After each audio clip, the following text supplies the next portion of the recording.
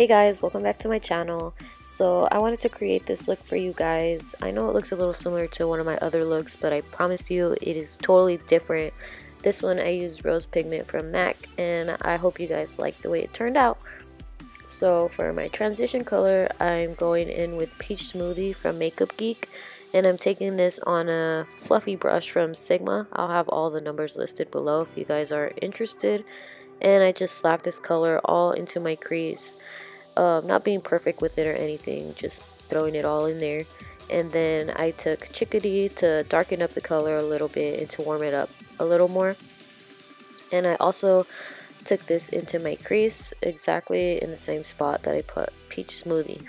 Now to make the, co the color a little more rosy I took um, Tuscan Sun from Makeup Geek and I took a smaller brush and I put that directly into my crease, um, focusing more of the color on the out, outer corner and then bringing it into the inner corner.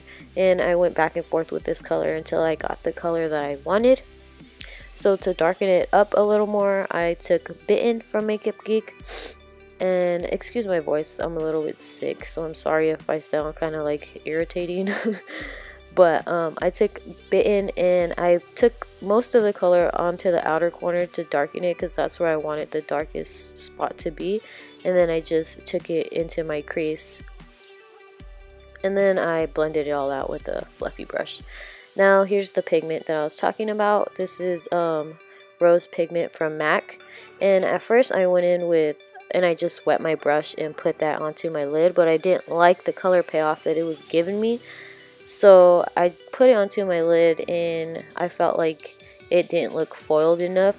So I'll in the next clip you'll see that I actually add um, glue and then I go in with the pigment and then it looks like so much more foiled and this is the kind of look that I was going for. So if you want the color to stand out more, I suggest you put a little bit of glue and then um, the color will pop even more and it'll look metallic and foiled if you like that kind of look. And the brush that I used here is a brush from Morphe and I'm not sure what number it is but I use it as a packing brush and I love the way that it works. I picked it up when I went to Fame Expo and I had asked them if they had a dupe for the 224 I think it is by MAC but they didn't know what I was talking about but this one is super super good and then um, as you seen, I just took a brush and blended out the pigment so that didn't look too harsh. And then for my lower lash line, I took the darkest color, which was Bitten, and I put that into my lash line first. And then I took um, Tuscan Sun and I blended it out. And then I also took Chickadee and what was it, Peach Smoothie, and I blended it out as well. So for my highlight, I'm going in with MAC I mean nylon from MAC and I took that on my brow bone and then I also take this color into my um, inner tear duct.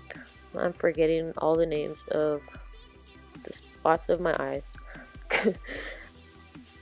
Anyways, I took it into my uh, inner tear duct and this is like my favorite highlight of all time.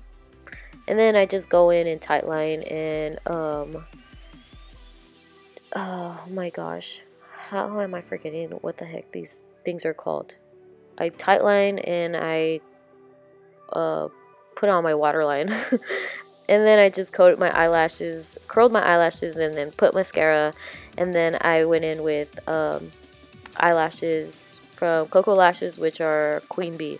I'm sorry you guys. I'm like all over the place. I'm like congested. My head is all retarded right now but for blush, I used uh, Luminoso from Milani. And then for my highlight, of course, you guys already know, I'm going in with Nylon from MAC. This is my favorite. And um, I just put that on my cheekbones, on top of my brow bone, down my nose, on my cupid's bow, everywhere, you know. Oh, and I also forgot to tell you guys that I applied um, liquid eyeliner. And I used the Kat Von D Trooper eyeliner and I um I just did a I wanted to do a, a, little wing but you know the wings never go as you want them to. It's like really not up to you how you want your wing. It's it's up to the liner. So then for my lips I took um natural from NYX and I just lined my lips. And for um, to fill in my lips I used um, sand from Dose of Colors which is a matte lipstick and I just put that all over my lips of course. And then I wanted a glossy kind of look so I took um, NYX Butter Gloss in Eclair and I applied that right over it. And I was pretty happy with the look um, not the look the lip color that it gave me